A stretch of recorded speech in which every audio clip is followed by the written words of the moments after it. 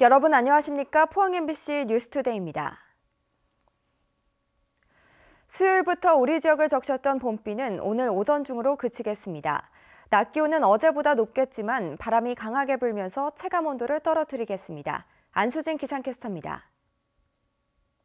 4월의 첫 번째 휴일을 앞두고 있는 오늘 우리 지역에는 비가 내리겠습니다. 이 비는 오후가 되면서 그치겠는데요. 비가 그친 뒤 황사가 유입되면서 미세먼지 농도 나쁨 수준을 보이겠습니다. 오후에는 한때 매우 나쁨 수준의 농도 나타날 수 있으니까요. 마스크 꼭 챙겨주시기 바랍니다. 오늘도 쌀쌀한 날씨는 계속되겠습니다. 아침 기온 포항을 제외한 지역이 한 자릿수에서 출발을 하겠고요. 낮이 되면 어제보다 기온이 4, 5도가량 높겠지만 예년 기온에는 못 미치겠습니다. 바람까지 강하게 불면서 체감 온도는 더욱 춥게 느껴지고 있는데요. 현재 우리 지역에는 강풍 예비특보가 내려졌습니다. 출근길에는 도톰한 외투 꼭 챙기셔야겠습니다. 자세한 지역별 날씨 알아보겠습니다. 오늘 땅을 적신 봄비는 오후가 되면서 그치겠습니다. 낮 기온 울진 13도, 영덕 15도, 포항과 경주가 16도입니다. 울릉도와 독도 역시 오전까지 비가 내리겠고 오후에는 흐린 하늘 보이겠습니다. 낮 기온 울릉도 10도, 독도 9도입니다. 동해 중부 앞바다를 제외한 동해상에는 풍랑 예비특보가 내려진 가운데 동해 남부 원바다에는 오후에도 한때 비가 내리겠습니다. 바다의 물결 동해 중부 해상과 남부 해상에서 최고 3m로 일겠습니다. 주말인 내일까지는 쌀쌀한 날씨가 이어지겠고요. 울릉도와 독도에는 눈 소식이 있습니다. 날씨였습니다. 포스코 권호준 회장이 지난해 받은 연봉이 24억 7천여만 원으로 1년 만에 50%나 올랐습니다. 하지만 대규모 그룹 구조조정 속에서 직원 연봉은 겨우 1.1% 올라 권호준 회장에 대해 황제 연봉 논란이 제기되고 있습니다. 장미쁜 기자가 보도합니다. 지난해 포스코 권호준 회장이 받은 연봉은 24억 7,300만 원. 급여가 7억 9,800만 원, 상여가 16억 7천만 원으로 건강검진비와 보험료 등 기타 소득으로 500만 원을 받았습니다. 이는 포스코 그룹 직원 2만 4천여 명의 평균 급여액 8,090만 원에 비하면 무려 30배에 달하는 수치입니다. 권호준 회장 연봉은 취임 이후 꾸준히 상승해 왔는데 2016년 구조조정 속에서도 37%나 상승했고 지난해에는 전년 대비 50%로 상승폭이 가장 큰 것으로 나타났습니다. 하지만 지난해 포스코 본사 직원들의 경우 평균 연봉 인상률은 1.1%에 그쳐 대조를 보이고 있습니다. 더구나 포스코는 지난 2014년부터 150여 건에 달하는 그룹 차원의 대대적인 구조조정을 진행해왔습니다. 이 때문에 포스코 직원들의 희생으로 만들어진 성과를 그룹 CEO가 독식했다는 지적이 제기되고 있습니다. 게다가 일각에서는 이명박 박근혜 정권과 포스코의 정경유착 의혹으로 국민적 비난이 끊임없이 제기되는 점을 감안할 때 고액의 연봉 인상은 지나치다는 지적입니다. 특별히 지난 두 정부와 관련해서 여러 가지 일로 어, 좀 불편한 상황이 벌어지고 있는데 시민들에게 그리고 포스코에 일하시는 분들에게 어떻게 받아들여질 수 있을지 조금 의문이 있다. 한편 포스코 측은 사회이사 평가보상위원회에서 3년치 성과급을 한꺼번에 지급했고 세금도 포함돼 금액이 많아 보일 뿐 대기업 CO에 비해서는 적은 수준이라고 밝혔습니다. MBC 뉴스 장미쁨입니다. 국립경주문화재연구소는 올해도 경주 쪽샘 지구에 대한 발굴 조사를 이달부터 시행한다고 밝혔습니다. 특히 지난해 발견된 목광묘 2기에 대한 발굴 조사가 실시돼 4세기에서 6세기 신라국가 형성기 고분 문화의 특징을 규명할 수 있을 것으로 기대됩니다. 경주 쪽샘 지구는 신라 귀족들의 집단 묘역으로 800여 개의 신라 고분이 확인돼 지난 2007년부터 발굴이 진행되고 있습니다. 자유한국당 경북지사 후보 경선이 책임당원 모바일 투표를 기점으로 막이 올랐습니다. 5만 명이 넘는 책임당원의 향방이 며칠 뒤에 진행될 여론조사에도 영향을 미칠 수 있어 경선을 판가름할 것으로 예상됩니다. 이정희 기자입니다. 자유한국당 경북지사 경선 첫 관문인 책임당원 모바일 투표가 어제 끝났습니다. 모바일 투표는 한국당에서 처음으로 도입돼 투표율은 생각보다 높지 않았습니다. 투표를 못한 책임당원은 8일 선관위에서 현장 투표를 할 수 있습니다. 경선에 나선 남유진 후보는 구미시장의 경험을 살려 경북의 일자리를 책임지겠다. 구미시장 12년 동안에 많은 경제적 실적을 쌓았습니다. 투자 유치 100조, 일자리 50만 개, 경제 도지사, 일자리 도지사 이렇게 하겠다는 거죠. 김광림 후보는 40여 년간의 국가 경제와 예산 경험을 살려 경북 경제를 되살리겠다. 예산은 3조 수준이었던 경상북도 국비 예산을 11조 원대로 올리는데 상당히 심부름을 많이 했습니다. 돈이 돌고 경제가 도는 경제 예산 도지사가 되겠습니다. 이철우 후보는 지역과 중앙을 두루 경험해 누구보다 소통과 현장에 강하다. 지역에서 20년, 중앙에서 20년 공직생활을 했다. 현장을 중요시하는 도지사, 소통 도지사, 지역과 중앙을 제일 잘하는 저 같은 사람이 아주 가장 적임자다. 박명재 후보는 도정, 국정 등 행정의 달인으로 분권 시대를 이끌겠다고 강조했습니다. 행정부지사로서 도정의 경험, 행자부 장관으로서의 국정, 재선 국회의원으로서 의정, 당 사무총장으로서의 당정을 아우르는 준비된 도지사, 대한민국의 중심에 서도록 하겠습니다. 투표에 참여하는 책임 당원은 5만 4천여 명. 한 번도 표심이 드러나지 않은 상태여서 섣불리 판세를 점치기는 쉽지 않습니다. 영향력이 큰 지역 당협위원장의 입김과 출신 후보가 없는 경산, 경주, 영천의 표심도 적지 않은 변수가 될 거로 보입니다. 경선 결과는 책임당원 투표와 7일 도민 여론조사 결과를 절반씩 합쳐 9일 확정 발표됩니다. MBC 뉴스 이정희입니다. 정재훈 전 한국산업기술진흥원장이 지난 3개월간 공석으로 비어있던 한국수력원자력 사장으로 취임했습니다. 정재훈 신임 사장은 지식경제부 에너지자원실장과 산업부 산업경제실장 등을 역임하고 지난해 연말까지 한국산업기술진흥원장으로 재직해왔습니다. 한편 문재인 정부가 탈원전 정책을 추진 중인 가운데 정 신임 사장이 노후 원전 문제와 사용 후 해결료 처리 등 산적한 과제를 어떻게 해결할지 관심이 모아지고 있습니다. 포항 인구가 3년 만에 51만 명 선으로 떨어졌고 평균 연령은 2세 높아졌습니다.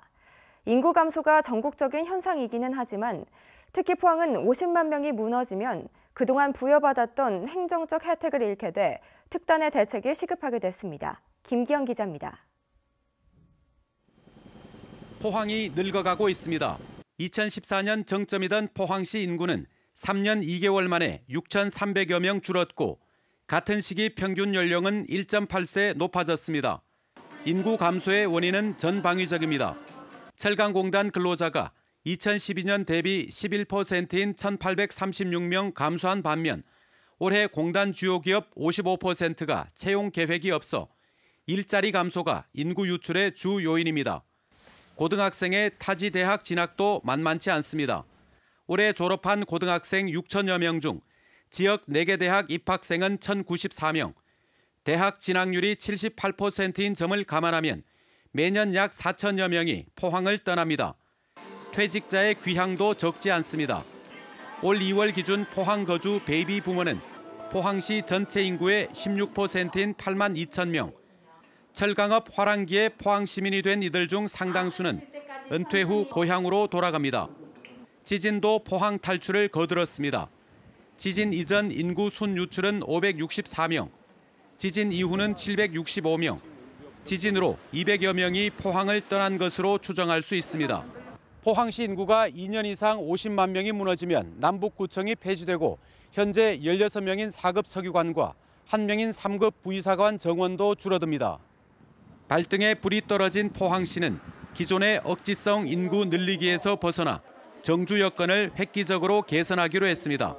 산업을 좀 다각화를 해서 일자리를 만들고 또 이제 여기 이제 생산에다가 이제 소비라든가 문화라든가 이런 것들을 좀 강화해서 삶의 질을 높이는 쪽으로 정책기획관실을 컨트롤 타워로 하고 인구대책 TF도 신설하기로 했습니다. 군인들이라든가 대학생들의 주소 이전이라든가 거기에 중점을 뒀다면 지금 현재는 지금 새로운 인구 유입도 중요하지만도 기존의 인구를 뭐 지키는 것. 보여주기식 일회성이 아니라 시장이 바뀌어도 지속 가능한 인구 정책이 필요해 보입니다. MBC 뉴스 김기영입니다. 일본이 독도가 자기네 땅이라는 내용을 초중고등학교에서 가르치도록 한 것에 맞서 우리의 독도 교육 개선 방안을 주제로 한 심포지엄이 열렸습니다. 동북아 역사재단 홍성근 박사는 일본의 교과서 왜곡에 대한 답은 우리의 독도 교육 내실화라고 밝혔고 대구대 최철영 교수는 초중고등학교 외에도 대학교에서도 독도 교과목을 신설하는 등 대학생과 일반인들의 독도 교육 프로그램도 개발해야 한다고 주장했습니다. 한국원자력연구원은 어제 경주에서 양성자 가속기 연구센터 준공식을 갖고 본격적인 운영에 들어갔습니다. 미국과 일본에 이어 세계 세 번째로 첨단 과학연구 활성화에 도움이 될 것으로 기대됩니다. 임재국 기자가 보도합니다. 국내 자체 기술로 개발해 미국과 일본에 이어 세계 세 번째로 만든 양성자 가속기입니다. 수소 원자에서 전자를 떼어내고 남은 양성자를 1억 전자볼트의 고전압을 이용해 빛에 가까운 빠른 속도로 가속합니다. 가속된 양성자가 물질과 부딪히면서 물질의 성질을 변화시키거나 새로운 물질을 만들어냅니다. 나노 기술에서 생명공학, 우주 항공에까지 첨단 연구 개발과 다양한 산업 분야에 이용됩니다. 어떤 신소재를 갖다 개발하든지 아니면은 새로운 그 유전 자원을 갖다 개발하고 아니면은 의료용 동위원소 같은 걸 생산하는데 활용을 하고 있습니다. 양성자 가속기 연구센터는 방패장 유치 지원 사업으로 정부와 경주시가 3천억 원을 투입했고 5개 연구시설에 빔라인 10곳과 지원시설이 조성됐습니다.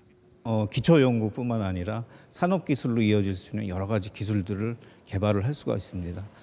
또 이러한 것들이 또 지역 산업체나 아니면 지역 주민과 연결돼서 어떤 지역 주민과의 지역과의 상생을 만들어낸 걸로 저희가 기대를 하고 있습니다. 한국원자력연구원은 양성자 가속기 활용도를 높이기 위해 산업체 R&D 통합 지원센터를 설립했고 경주시는 동국대학교와 함께 오는 6월까지 가속기 활용 방안 용역에 들어갔습니다. MBC 뉴스 임재욱입니다. 세계 문화유산으로 지정된 경주 양동마을에 3년간 예산이 전혀 지원되지 않아 주민들의 불만이 커지고 있습니다. 경주 양동마을에는 지난 2016년부터 3년간 국가 예산이 전혀 교부되지 않아 주민들이 비가 새는 지붕을 제때 수리하지 못하는 등 생활에 큰 불편을 겪고 있습니다. 이에 대해 문화재청은 어제 주민 설명회를 통해 예산 집행률이 낮아 국비 교부가 되지 않았다며 주민들의 이해를 당부했습니다. 포항의 특산물 장기 산딸기가 시설 재배와 분재배를 통해 2개월 빨리 출하되고 있습니다. 장기 산딸기 영농조합법인은 지난해 화분에 흙을 채워 분재 형식으로 재배하는 방법을 특허 등록하고 스마트팜을 활용한 산딸기 재배에 성공해 노지보다 2개월 빠른 지난달 23일부터 판매를 시작했습니다. 생산량이 적어 가격은 노지보다 3배 정도 비싼 킬로그램당 3만 원대를 형성하고 있으며 전체 재배 면적은 96헥타르에 이릅니다. 공장 폐수를 낙동강에 무단 배출하다 적발된 봉화 석포 재련소에 대해 사상 첫 조업 정지 처분이 내려졌습니다. 그동안 숱한 환경오염 사고에도 과태료 등 솜방망이 처벌에 그치던 관행에 제동이 걸리는 걸까요? 정동원 기자가 보도합니다.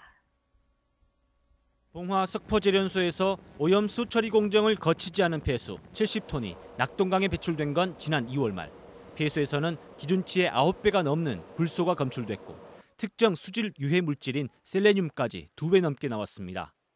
공장 안에서는 폐수를 오염 처리 시설 밖으로 몰래 빼내는 현장까지 점검반에 적발됐습니다. 경상북도는 석포재련소의 법 위반이 내용적으로 중대한 것은 물론 고의성도 엿보인다며 행정처분 중 가장 강한 조업정지 20일 처분을 확정했습니다. 사고 이틀 후 중대 위반 행위를 한 것은 환경의식이 크게 결여되어 있다고 볼 수 있습니다. 지난 5년간 적발된 석포재련소의 환경 오염 행위는 무려 46건. 특히 작년 10월 대기 오염 방지 시설을 고장난 채로 방치해 조업정지 위기까지 갔다가 과징금 6천만 원으로 경감된 바 있습니다. 그런데 불과 넉 달 만에 다시 대형 환경 사고가 터진 만큼 강력한 행정 처분이 불가피했다는 게 경상북도의 설명입니다. 다만 24시간 돌아가는 재련소 특성상 조업 중단에 필요한 안전 확보를 위해 두 달간의 준비 기간을 주기로 했다고 밝혔습니다. MBC 뉴스 정동원입니다. 6.13 지방선거에서 시장 군수로 출마하기 위해 황희주, 곽경호, 정영길, 장용훈, 박성만 등 도의원 5명이 도의원직을 사직했습니다. 이로써 지난달 사직한 4명을 합쳐 모두 9명의 도의원이 선거 출마를 위해 사직했습니다. 국립해양조사원은 연말까지 포항항과 후포항, 구룡포항 등 동해안 4개 항만에 대해 항만 해역 정밀 수로 측량을 실시합니다. 특히 포항항은 대형 화물선의 통항이 많고 여러 차례의 지진이 발생한 지역이어서 첨단 장비를 동원해 수심 변화를 측정합니다. 항만 해역 정밀 수로 측량은 각종 시설 공사와 준설 등으로 계속 변화하는 해저 지형을 조사해 선박의 안전을 돕기 위해 실시되고 있습니다. 아직도 이런 경찰관이 있습니다. 오락실 업주에게 단속 정보를 주고 대가로 뇌물을 받은 경찰이 구속됐습니다. 윤태호 기자가 단독 보도합니다. 대구 한 경찰서 소속 경찰관 A씨가 지난달 30일 검찰에 구속됐습니다. 오락실 업주로부터 뇌물을 받은 혐의를 받고 있습니다. 검찰에 따르면 A씨는 지난 2016년부터 경찰이 하는 오락실 단속 정보를 업주에게 전달하고 천만 원을 챙겼습니다. 업주로부터 직접 돈을 받은 것이 아니라 브로커를 끼우는 치밀함도 보였습니다. A씨는 뇌물을 받았을 당시 대구 경찰청에 근무하고 있었습니다. 불법 오락실 단속을 대구 경찰청이 전담하다 보니 단속 정보를 쉽게 얻을 수 있었습니다. 한 달을 버티면 본전을 뽑고 두 달을 버티면 차를 사고 두 달, 세 달을 버티면 집을 사다 하는 소리가 있습니다. 저를 안 달고는 못합니다. 할 생각도 안 합니다. 경찰관 A씨는 혐의를 부인하고 있습니다. 법원은 브로커가 범행을 시인했고 A씨가 증거를 없앨 수 있다며 구속영장을 발부했습니다. MBC 뉴스 윤태호입니다. 산불과 침수로 피해가 반복되는 포항시 용흥 4지구 재개발 사업구역이 국토교통부의 2018년 상반기 공공지원 민간임대 연계형 정비사업 공모에서 후보지로 선정됐습니다. 이에 따라 공공지원 민간임대와 공공임대주택 695세대가 건립되고 청년과 신혼부부에는 시세 대비 85%, 일반인에게는 95% 이하로 공급됩니다. 공적 임대 사업지로 선정되면서 기금이나 융자, 보증 등 자금 지원이 가능해 그동안 사업성이 떨어져 재개발이 더뎠던 우미골 일대 재개발 사업이 탄력을 받게 됐습니다.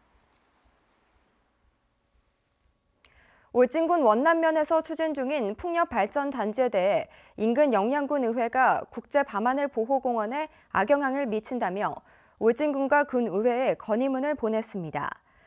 영양군 의회는 풍력 발전 단지가 건설되면 항공 장애 표시 등의 불빛과 발전 소음이 인접한 영양군 수비면 수화계곡 일원의 천체 관측 과 반딧불 서식을 방해할 것이라며 사전에 의견 수렴이 필요하다고 밝혔습니다. 대구와 블라디보스토크를 오가는 전기 노선이 오늘부터 열립니다. 오늘 오전 8시 20분 대구 국제공항에서 열리는 취항식을 시작으로 앞으로 주 3회 월수 금요일에 대구와 블라디보스토크를 운항하는 하늘길이 열립니다. 대구 국제공항이 생긴 이래 러시아 전기 노선 취항은 처음입니다. 이로써 대구공항 취항 노선은 국내선 3개, 국제선 16개로 늘어납니다. 러시아 최남단 항구 도시인 블라디보스토크는 시베리아 횡단철도 시작과 종착점으로 자유무역지대로 조성돼 극동 지역의 경제개발 선도도시 역할을 하고 있습니다.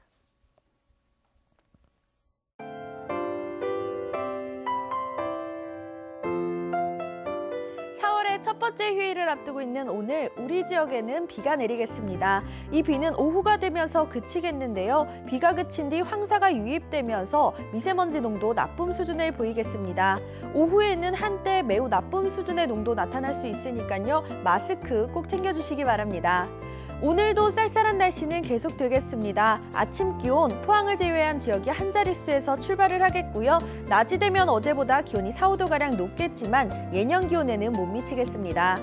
바람까지 강하게 불면서 체감 온도는 더욱 춥게 느껴지고 있는데요. 현재 우리 지역에는 강풍 예비특보가 내려졌습니다. 출근길에는 도톰한 외투 꼭 챙기셔야겠습니다. 자세한 지역별 날씨 알아보겠습니다. 오늘 땅을 적신 봄비는 오후가 되면서 그치겠습니다. 낮 기온 울진 13도, 영덕 15도, 포항과 경주가 16도입니다.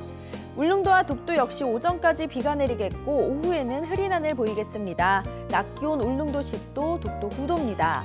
동해 중부 앞바다를 제외한 동해상에는 풍랑 예비특보가 내려진 가운데 동해 남부 원바다에는 오후에도 한때 비가 내리겠습니다. 바다의 물결 동해 중부 해상과 남부 해상에서 최고 3m로 일겠습니다. 주말인 내일까지는 쌀쌀한 날씨가 이어지겠고요. 울릉도와 독도에는 눈 소식이 있습니다. 날씨였습니다. 네, 이상으로 포항 MBC 뉴스투데이를 마칩니다. 여러분 고맙습니다.